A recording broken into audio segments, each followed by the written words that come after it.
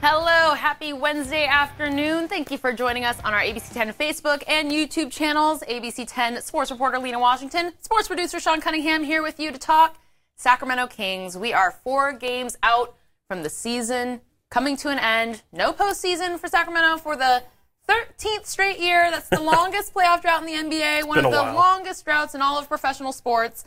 It's been a while, uh, but we have a lot to talk about, especially after a brutal game. Tough loss last night at home against the Rockets. 130 105 certainly felt like a bigger deficit than that. Yeah, I mean, it sure did. And, and, and you know, it's funny because we're talking about being a relevant team down the playoff stretch uh, and being a relevant team, you know, competing for a playoff spot.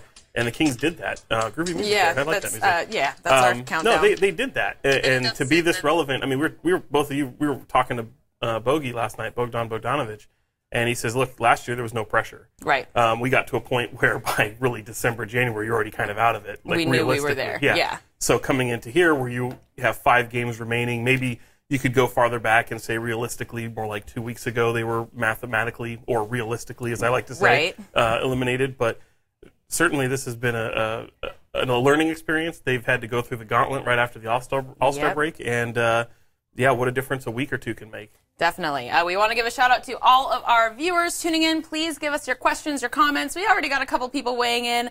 Hello, Rick from Groveland. Hello, thanks for watching. Uh, Thamar, hi, have a good day to you. Uh, Matt Camarella, Camarella, Ooh, I like that. he's got some words. He says, How about F those perennial losers? Who's he talking about? I, I think he's talking about the Kings. The Unless he's Kings? talking about us. I don't know I if mean, he's talking could about, be talking you about and me. you and. I. Um, but he could be talking about the Kings, who are Yeah. 30 and 48 so far. Four games remaining. Uh, they Who's can Matt's team? finish. I wonder Matt's teams are. Ma- I'm sorry, His name was Matt. Matt Camp Caramella. Caramella. I wonder Matt's teams were. Uh, we'll see. And Marion from Central Valley, hello. Thanks for watching. Uh, we please give us your questions, your comments, weigh in. Tell us how you are really feeling about the Kings season. We're going to toss to some sound so you can hear how everyone felt after that loss to the Rockets, who swept the Kings in the regular season and did it in record fashion. Take a listen. Uh, we did not come with the mental or physical uh, attitude of playing with some force and uh, mentally locked in enough. Um, you know, we can't play that way. We're, we're better than that. That's disappointing if we had a hangover from a long trip, uh, a bunch of games, young guys, but we cannot let go of the rope, and uh, and we're not going to. So uh, we didn't close out. Obviously, you know, they set an NBA record in threes. Um, you know, where we almost like dared them to shoot them, and, and we didn't close out all the way. Um, didn't contest enough, and didn't play with enough effort to, to scramble around and make up for those things. And you got to give Houston a lot of credit. You know, this is a game they could have, you know, slept walk through maybe and, and mentally approached it that way. Um, they took an approach that, you know, hey, we played a team one day, uh, four days later, three days later, we're going to play them again, and um, let's treat it like a playoff mindset where we're going to make adjustments and, and we're going to polish up our stuff. Do you want that bo- to bother them? Them going after that record like that in the closing seconds and kind of trying to make it. I don't. I don't know if our guys realized it. I mean, to be honest with you, I didn't. I mean, you know, I could see what was going on, and then I realized it, but uh, right right away, and I don't think so. Uh, no, you watched the game, sir. Did it look tough? Kind of, did I mean did it feel tough? No, I think we went out there just didn't make shots. And they made a lot of threes. Yeah. They were obviously going for a record late. I mean, is that do you want something like that to kind of bother this group when when a team does something like that? Uh, I guess. Um, I don't really. I ain't know. I ain't really look. Um, but I guess yeah, it's probably pretty bad. Uh, I don't. I can't speak for everybody else. Um, I know for me, I, I ain't having no records broken on, on, on, you know, against us or me personally. Uh, I don't really like it. Um, the competitive uh, person that I am, player I am, I don't like that. But I can't speak for everybody else. All right, Marvin Bagley can't speak for everybody else, but it certainly seemed like everybody felt the same. It was pretty quiet in that locker room. I Yes. actually joked with Sean. I could have dropped a pin in there and seen how loud it was. The record we're talking about, though, is the Houston Rockets tied the NBA record for most made threes in a game. Which, by the way, they set earlier this year. Yeah. Their own record. It was an NBA record. They did it earlier this year. And look, yeah, you mentioned they swept the Kings in the regular se- in the season series. Um, if I'm in that locker room after the game, I'm feeling like Marvin Bagley. I, they're jacking up threes in the closing seconds going for something. They're either in one. There's two ways to look at it. They're either running up the score, which you should have a problem with. Mm-hmm. Yeah. Get some pride, defend, lay a hard foul, do whatever it is you need to do. Yeah. Um, but at the same time, they're going for an NBA record. And Dave Joerger, I thought, was brilliant when he pointed out right there. He's like, I don't even think my guys realized it. That should say something, meaning that guys, these this team shoots a lot of threes. Yeah. And whether or not you like it, I mean, they're t- talk about whether it's a bad matchup, and Willie goes, yeah, they shoot a lot of threes. That's all you had yeah. to say. Um, I mean, that's been the Achilles heel for the Kings is perimeter defense, not Right. being able to stop them. And I think there's really three teams that stand out to me that just have absolute ownage over the Kings this year, and that was obviously Houston. Houston, um, Clippers. the Clippers, and Milwaukee. Yeah. And, and what do they all have in common? They, and the Clippers are one of the teams that defend the three the most. And I was talking to their beat writer Jonathan Feigen after Mm-hmm. the game, and he says the Clippers are actually the team that worries the Clippers, the, excuse me, the Rockets the most because of the way they defend the perimeter. Right. Well, because they know they, they play similarly, and they know that you can't let James Harden just have an island over there. He's gonna, you know. And I will retract my statement of Paul George being the MVP and me being over James Harden's performance. Uh, getting to watch him do his thing uh, in person last night. That's he's, the MVP. He's the MVP. No, he he's is the the MVP. MVP. Giannis, you had a great season, but this guy, I mean, he's it's Harden, unreal. Harden is doing things that that hasn't been done since Wilt Chamberlain. Right. I mean, that is that's just the and and as somebody put it the other day, we're having this discussion about whether or not you think Giannis or Harden would be the MVP. Look, Giannis has been fine, but he can go 25 minutes and the Bucks without doing a, a damn thing on that team, Yeah. and the Bucks will be just fine. James Harden, on the other hand, his usage is so high with Yeah. that team. He's involved in everything, and he's no slouch defensively. No. um, Which, Giannis actually, he's Giannis changed that reputation for Right. himself Yeah, because he used to be just see ya, Yeah. Tor- you know, Ole, Yeah. let the guy go right by you. Yeah. Um, but at the same time, like, look, Giannis has him in that category. Yeah. Okay. But when you factor in everything else, I think James Harden is bar by far the MVP of this league. Well, Kings fans, let us know if you think James Harden Yeah. is the MVP of the league or who you think your MVP uh, is. We're going to continue this conversation weekly, pretty much into the playoffs, even though the Kings won't be there. We got a lot of NBA teams to cover, of course, with the Warriors uh, going into the playoffs, going for their fourth championship in five years. Yeah. So, I mean, that's pretty big. Uh, but we want to get to some of your comments. Amy from Rancho Cordova says, "Go Kings! They can do this." So, Amy McGarvey, she's a she's a lifelong fan. Yeah, she's, she should. Yeah, she's she knows what strong. she know. What, it's funny too because we were talking about this. Like you hear the Kings, Buddy Hield last night. He's like, our goal is to get to be 500. Like this is what they want their goal to be. Mm-hmm. Right. Uh, Which is I say- attainable. which is fine. I mean, again, we had 24 wins, 25 wins, and Mm-hmm. that that was kind of the expectation. 40 wins to me is kind of the benchmark. Mm-hmm. Whether it's 500, however that plays out, um, I think no matter where you have it, if the season were to end today, think of however long, 30 years or so of Kings basketball in Sacramento. This would be the ninth best record That's pretty in, remarkable. yeah, in Sacramento history. So that just shows you there's been a ton of lean years in, Mm-hmm. in the NBA in around Sacramento Kings, um, but it's certainly on the upswing, and that's something to be proud of. Definitely. Uh, but we want to ask you, with that said, do you think the Kings will finish at 500 this season? They've got Cleveland here tomorrow. They they go to Utah the Mm-hmm. next day on Friday. Then they host the New Orleans Pelicans for Sunday's final home game of the season, and then they head to Portland to close out the season uh, on Wednesday. So four games left, two really tough playoff contenders, and then you have New Orleans who got them on the road uh, about two weeks ago. So. Uh, it's not going to be a, an easy schedule. You got to steal one. You got to steal, steal one. one I have them winning two of four.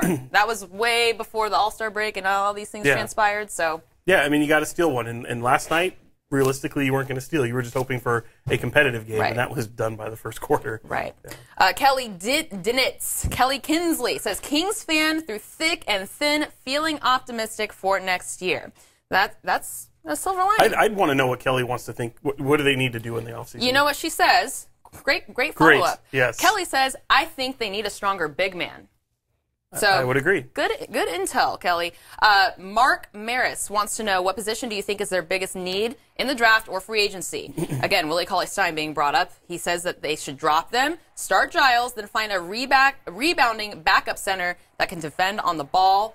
Uh, Willie Cauley Stein is a free agent. It seems like every week we are talking about him. Somebody else. It's not us. No. We just want to make that clear. It's the fans, the people who are weighing in and watching uh, that want to know is Willie going to be a king next year or not? Uh, we will see. The offseason is going to be very interesting for this team. And he's polarizing. I mean, look, the Kings always Kings fans always have that one player that ends up being the target of their ire. Sure. And Willie has certainly been that guy for a few years, I would say, um, especially after the Demarcus Cousins trade, because I think they expected, okay, you're losing a guy like Demarcus Cousins. Willie now is your chance to be that double double guy, Mm-hmm. uh, that perennial all star. And and Willie's just Willie, and he's excuse me, he's having a season where it's his it's his best since he's been with the Kings. Yeah. Um, but still, he just be- is that still that same guy. And I think in comparison to someone like Marvin Bagley, sometimes you can look at a guy like Willie Cauley Stein, and it just looks different. Sure. You know, when he goes out there and makes a mistake, it's different than when someone like Marvin Bagley makes a mistake because Marvin looks like he's so involved and so energetic. Mm-hmm. Um, Willie's Willie. You know, it's a different approach. It's a different mindset. Um, but at the same time, I, I get it. I get the frustration. Yeah. I can, I can. When someone says that they don't want Willie Cauley Stein a part of this future going forward, I get it. I get it. But at the same time, what's that look like? What's next? Sure. So do you want to? If you do that, you can identify other bigs in the league: DeAndre Jordan, mm-hmm. Nikola Vucevic, so Demarcus Cousins again, guys that are going to be available Yeah. in free agency. Who do you throw the money at? And I would tell Kings fans right away: the Kings will and should extend the qualifying offer to to, to Willie, so that mm-hmm. that way that they can match anything he gets. If have at least have that option to, or Right. then therefore work out a sign and trade if they don't want to keep him. But if the team dictates that his value is eight million a year, that's pretty good. Yeah. That's not bad. Um, so is it a point where, okay, if it's at 8 million a year, is he still worth having? Or is if he's going 15, 18, 19, 20, is it a come, you have to kind of see where his value, some fans are like, I don't care. I don't care what, they Right. could pay him a million dollars a year, get him out of here. Yeah. So, Well, that's that's one take that's been consistent. I, Yeah. It seems like throughout every week that I we've would, done this. I would say too, to that question, I think it was Kelly a minute ago who said, um, what's their biggest position of need? that was Mark who asked the Mark. position of need, but Kelly Mark. says they need a stronger big man. Well, and I think yeah, and I would agree with Kelly. Uh, Mark, I would say actually uh, to answer that question, I think a backup point guard, uh, a solidified backup point guard that is is. I guess that depends on what you do with Harrison Barnes. If Harrison Barnes opts in and he's your quote unquote small forward, your Sure. starting small forward, then you're fine. If you decide that you're not, you know, that whether Harrison opts in or not, if you think that that's the small forward of the future, who knows? But maybe you go out and try and you know go after a guy like Tobias Harris. who Sure. would be my number one priority of the Yeah. offseason. Um, and even if even if Harrison Barnes opts in, that would be a nice situation to have. But I think really the thing I've noticed year in and year out is looking at, uh, or at least for these past two years, is a backup point guard. You know, is, you have De'Aaron Fox, that's fantastic. Bogdan Bogdanovich has shown the ability to push the floor, Right. but guys like Yogi Ferrell have come in and, and, and had successful seasons this, Yes. this year because Bogey doesn't push with the intensity that Yogi does. sure. It's fun to say Bogey and Yogi, by the way. Yeah, Bogey Yogi, Yogi Bogey. Uh, Anthony J. Carmichael says Giannis is his MVP. Fair Okay, enough. yeah. He's a team player, makes his teammates better. Also, the Bucks are nowhere near good, near as good without Giannis. So I'd say the same thing about I'd say the same thing about James Harden. Yeah. you know, I They're mean, right look up at there. look at the when Clint Capela goes down, Chris Paul goes down, right, James Harden still makes. In he's fact, still dropping fifty to sixty. Clint Capela goes down, and James Harden started his streak of thirty in that stretch. Yeah, that's so that's even more impressive. Right. So. I'm, I, I get the look. I get the honest. Nothing, no slight against Giannis. I just disagree. I think it's James Harden. Well, agree to disagree, but uh, a lot of talent, obviously, in the NBA. We've seen the development of a lot of talent here in Sacramento. As we mentioned, this season has been one of the most successful in all of Sacramento franchise history. Um, but we want to know, fans, we know you're critical. We know you kind of came in with low expectations, then we reached that high before the new year, and then we kind of trickled down as the All Star break came. So, do you consider this season a success or a failure? Certainly a surprise. Uh, I would say is is the hot button word for this team is a surprise of the NBA season, but with the intention, with Buddy Hield betting his betting his house on making the playoffs and that confidence, and now you know you hung out strong until the final week of the season, but you're not playing in June. You're not pay- you're not playing in April. So is that a failure considering where this team was last year with 27 wins, or do you see this? I see the success. I, I don't Yeah. think this season is a failure. Obviously, in the grand scheme, every player, every team goes out to win a championship. Right. If you ask them what their goal is for the season at media day, they're going to say win a championship, make the playoffs, contest, um, contend, I should say. Uh, but that's not something that Sacramento's been able to. What did you say of. that the uh, the streak was now? The, the the streak of losing seasons for for not making the playoffs. 13. now. 13 so 13 so there's two ways to look at it yes given what you said and i agree this is a uh, this is a successful season based off of what you're building to Mm-hmm. so there is that But there's the cynical side, which is like you haven't made the playoffs in 13 seasons, which means you're the lower half of NBA teams. Half the teams in the NBA make the playoffs, and you haven't done it in 13 years. That's a failure. So I get it. But if you take a smaller sample size and look at what they're building towards, this, of course, is definitely it's it's impossible to call this a, a failure, in my opinion, because of the fact of what they're building toward. Now, Sure. you get to the offseason and you make some you make some tough decisions. What do you do with the head with the coaching staff? What do you do with um, Lee Cauley Stein? What do you do mm-hmm. in the offseason? That's definitely things that have to be addressed. But because of what the season they had, look, you're a relevant team up until two weeks ago. Right, which I will tell you what, nobody happened in- predicted yeah. that. You can you can be the lifelong fan through thick and thin, and you know, but people would have called you delusional in September if you said, "Oh yeah, we're making the playoffs, we're going for 40." We're you know, after seeing the California Classic and Summer League play, it was not that impressive. No. So you would not be able to pin this team to come up with at least 10 more wins than they had last season. Um, let alone have a chance to finish at 500 for the first time since they last made the playoffs. I believe was their last uh, 500 season. So Well, it's, and it's, it's amazing that they're able to do it and still be a part of this rebuild, or the rebuild and the development of players. There's no better development of players than being a part of a playoff push. So playing meaningful games is great. Throwing guys out there, you know, what we'd always say in the last 25 games of an NBA of a losing NBA season, and guys shine. That doesn't mean anything. That that that's usually fool's gold. That's what I like to call fool's gold. So what you go out and you have these moments where teams can compete, that helps your development entirely. and sure. that's when you're playing meaningful basketball games and, to be able to do both in a season where you're dedicated to growth and development. Mm-hmm. oh, The expectations will be different next year, no matter what they do this offseason. Because of the They season, be. yeah, because of the season that they've had. Even if they have a new coach, even if they rehaul the roster, I don't know how that would happen, but even if even if they blow up this core, which again they're not going to do that, but even if they do that, mm-hmm. the expectations are that this team is a playoff team next year, That- and it should be. Right. Let us know if you guys agree. Are, are the teams going to make? Are the Kings going to make the playoffs next season? Given the growth that we saw this year, the young core, one of whom is of course Harry Giles playing in his mm-hmm. first NBA season, even though he was drafted two years ago out of Duke. Uh, he uh, overcame multiple injuries, knee injuries. Um, they held him off to kind of get back, but now he is suffering from a thigh contusion that's kept him out for the last five games, I believe. Seven, yeah. Seven, and now he's going to be shut down for the rest of the season. So four games remaining. Um, but we had a chance to, excuse me, talk to him about just to assess his season, see where how his body's feeling, and just hear his reaction to being on the bench for the last five games of the season. Take a listen. It's disappointing uh, just because just wanted to finish the season out uh, strong and just you know with a good feeling of you know doing good uh, going into the summer. But uh, I felt like I left off on a good note. Uh, happy with myself for the season. You know I'm, I'm never all the way. I'm never be content ever. You know I'm always gonna be on myself. Like I, I can always do better. I can do more. But uh, you know from where I came from and just the journey and the long path. Even taking it back to Duke, I was you know just went through some struggles and uh, not playing last year. Uh, I'm, I'm blessed to be in the position I'm in, so I just got to look at it for all the positives that I got out of it. Uh, what I got going on now is, is something that's so minor. It's not even anything. So it's I'll be back pretty soon. It's just the extent of the season is left. It's just not enough time for the way I feel. You know, uh, it was 10, 15 games. You know, it may be different. You know what I'm saying? But uh, just five. I think by the time I hit, I just think it'll be too late anyway. You know, so. And to have 58 games under your belt in that first year, That's major for me, uh, especially at this level, high level. Um, I don't care what anybody says. Uh, it's, it's big, uh, especially all.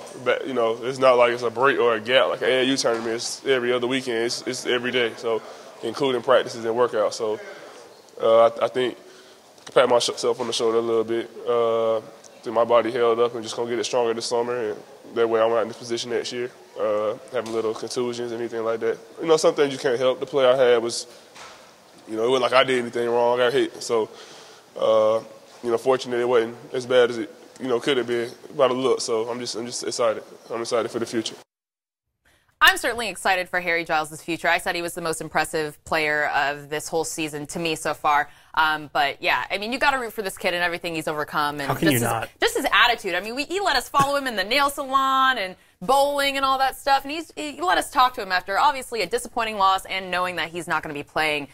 You don't want to ask, ask answer questions about No. that, but he did. So thank you, Harry. No, that. he's he's someone it's hard not to root for. Yeah. I mean, three knee, three knee surgeries, two ACLs in both knees. Coming back from that, a guy who was considered to be in high school high school player of the year. Yeah. Um, and he goes from only really having that to just a few games at Duke where he's playing maybe 10, 12 minutes. Mm-hmm. Um, and then coming into this season, or into his rookie season, which was last year, not playing at all, and only Right. having, you know, only having the, the, the practices to Mm-hmm. show off. And as he said, to go through where you're playing one day, you're maybe practicing another, and then you have days where Every you're not playing day. again. Yeah. The NBA is not like that. It's a grueling grind. You've Yeah. Mm-hmm. got practices, days off, you hardly any days off, and then you go scrimmages, practices, treatment days, stuff where you're working on. Then you have game days, and he played in 58 games. Yeah. that's an incredible accomplishment for the guy. Yeah. uh, I mean, they you can easily see here. I mean, you're seeing highlights right now of Harry. His skill set is so unique for a guy who's 6'11. Yeah. and to be to go into this offseason where I think. You know, hopefully he'll play a game or two in summer league. I'm not sure if he'll play the entire thing or if Sure. at all. Um, but the thigh contusion is nothing to be a, nothing to be No- concerned no about. point of concern. No, I mean it, for people who don't know, if Luka Doncic is going through the same thing. You get stiffness in the thigh. You only have five. Last night you had five games remaining. You only have four, four. left now. Yeah, as he said, if we had 10, 15 games, I'd be ready to go. Why push it? Mm-hmm. Yeah. Start the re, the offseason early. These games are meaningless now. You don't have a first round pick.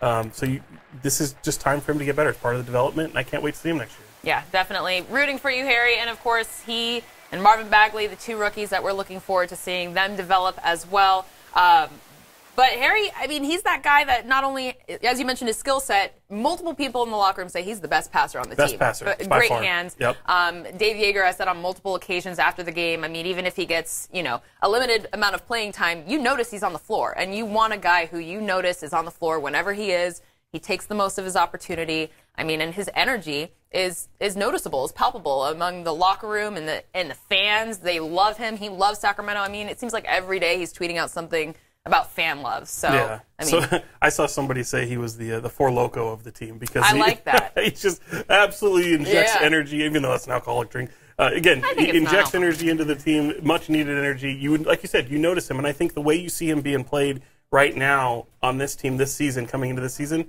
is different than what we're going to see next year. Absolutely. I think with the fact that you're going to have him with with uh, Bagley together, my gosh, yeah, they're The- so fun to watch Oh, together yeah, on the floor. The energy that they bring, uh, you should never be out rebounded. you should never be out hustled. Right. Um, those guys are so much fun, and, and they're they're easy. I mean, the fans gravitate towards that. Yeah. Uh, that's what they love to see that hustle. They love to see that fire, and it's easy to see why. You know, people thought Harry Giles compared to the likes of Kevin Garnett and Chris Webber. Chris Mm-hmm. Webber for the passing ability, being six eleven, having those skill that skill set, and KG for that that crazy fire. Yeah. Which I even asked Harry. I was like, "You're kind of Yeah, crazy." he- no, well, you are. You're crazy. Well, a lot of people compare. He's compared himself to uh, KG. I mean, I talked to Paul Pierce when he was Yeah. here interviewing Marvin Bagley before the season started, but he, by name, said he's excited to see Harry Giles Right. and how he develops. So to have an NBA, you know, legend like that call you out when he hasn't even seen you really play in an NBA game Yeah. yet is pretty remarkable. And I would say if any fan, this is kind of weird, but any fan gets to meet Harry Giles, not that he's got the biggest hand you'll ever see, but just put your hand up Just- to him. just see Just just look at what it. it It's incredible. like. Yeah. Um, all right, Anthony J. Carmichael has a little bit to say. Okay. he's, he's got. Go, Anthony. I'm uh, okay. Here we go.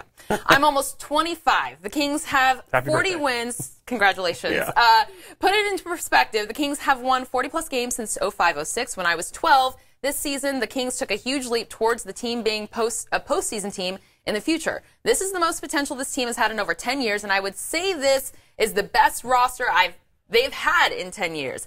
It is a must to solidify the center position. We need great rebounding, rim protecting center, and we need to add depth off of the bench. Anthony J. Carmichael watches his Kings. 25 years in, and he came out watching Sacramento Kings basketball out the womb. Eddie Johnson, you know? Yeah. That's- that's a lot how of- long it's been. A lot of Sacramentans have, and, and he's right on. I mean, that's that's exactly right. Um, I think, and that's that kind of illustrates the not only the the tough times that have been over this past 13 years, Mm-hmm. um, even though you've had glimpses of things that you can get excited over.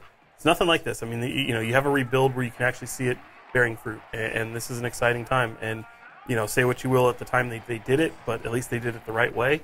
Uh, they built through the draft, and they're following the model that was set by the Warriors, Mm-hmm. Denver Nuggets, think guys that are using this homegrown talent. Uh, this is the way you do it. You build through the draft, and hopefully you come up right in the draft. Because there's a lot of teams that, that, that don't. You don't always do it. Look how long it took Philly. They trusted the process, though. They did. They sure did. And look at them now. Um, also, just you mentioned uh, we mentioned Marvin Bagley. Also, want to mention uh, he was rocking a Nipsey Hussle shirt last night Yeah. at the game, paying homage to the late rapper who was gunned down in front of his store in L.A. Um, everybody, it seems like in the sports world, has positive things to say about him. You saw Russell Westbrook, what he did last night, dropping 20, 20, and 20, significant given Nipsey's upbringing in L.A. Um, and a lot of people in NBA and sports and entertainment um, honoring Nipsey Hussle, including Marvin Bagley. And by the Um, way, strange King, not a, I mean, cool Kings connection. I mean, Nipsey would come up to games. Um, I had never heard of him right around 2011, maybe it was Mm-hmm. 2012, and uh, two Kings players, Demarcus Cousins and Isaiah Thomas, who actually is the probably the closest to Nipsey at yeah, the time. and James Harden as well. Yeah, but I mean, in terms of just Kings players, like bringing him up here and, and he would be here at games, it would be a Mm-hmm. Familiar sight at games.